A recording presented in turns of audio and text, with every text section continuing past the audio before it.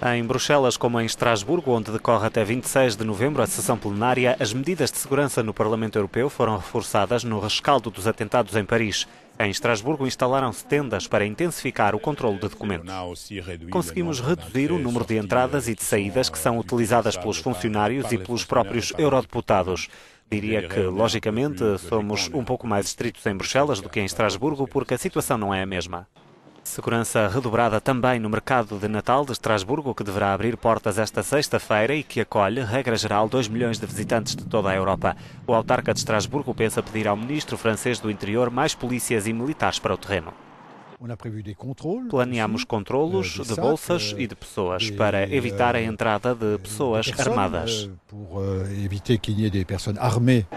Algumas atividades destinadas às crianças foram canceladas, mas os comerciantes locais não escondem o contentamento pela realização do mercado, apesar de tudo.